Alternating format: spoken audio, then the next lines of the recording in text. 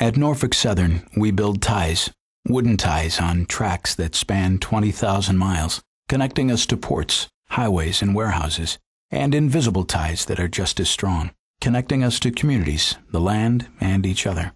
This is one of those connections. It's called the North American Amazon, the lower Mississippi alluvial valley, a huge swath of land that, thanks to the Mississippi River, was among the most nutrient rich soil on Earth. A forested region once a home to 25 million acres of bottomland hardwoods, cut down to 4 million today. If we were standing here in Yazoo County 100 years ago, we would virtually be standing in a forest. There would have been several species of oaks, cottonwood, and cypress, and maple. Uh, we're here on our family farm in Yazoo County, Mississippi. The farm has been in the family since pre 1900. We've had quite a flooding problem. It was a financial burden for us. My son lost his home. There are areas that should not have maybe ever been cleared up for farm because of poor drainage and lower ground. When we overcleared, we lost a lot of wildlife habitat. It really affected uh, migration patterns for neotropical birds. It affected endangered species like the Louisiana black bear. It certainly affected water quality, so uh, the need for reforestation is great. Norfolk Southern has a broad uh, sustainability program, but it's tied to our principal vision that uh, we need to minimize our impact on the environment while protecting our communities and shareholders. The size and scope of the project with Norfolk Southern is to plant 10,000 acres and plant 6 million trees. This 10,000 acres is the largest single effort of reforestation in the country. And uh, Norfolk Southern, for its investment, will get carbon credits, about a million tons over uh, a period of the years that the trees are growing.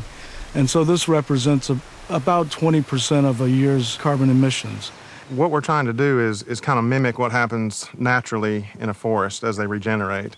So these cottonwood provide a shade very similar to what you see in nature that does provide ideal growth for the hardwoods. After approximately 20 years, there would be two thinnings of cottonwoods, roughly at year 10 and again at year 17. There'll be less cottonwoods per acre, which provides more room for, for increased growth, increased height for better quality trees. It's great for wildlife, it's great for water quality, it's great for carbon sequestration. It has tremendous benefits for any environmental factor you can come up with. And these trees were just planted two and a half years ago. This is an instant forest. My granddad bought this farm like 60, 70 years ago, and my dad actually grew up hunting and fishing here as a little boy. We have planted a little over 1,100 acres in trees.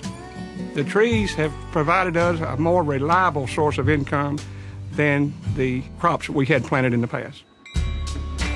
The railroad's been a big part of the history around here, as has farming and timber industry. Both have been around forever, and the farmers need the railroads, and the railroads need the farmers.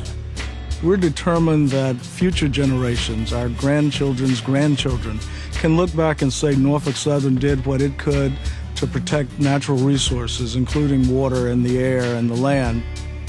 It uh, makes me feel really good to know that uh, I work for a company that truly cares about the environment. People who look back at us will say we were good stewards of, of what we had in front of us. Everything we do is connected. Let's all do our part to create a better world and let the people in our lives know that Norfolk Southern is in it for the long haul.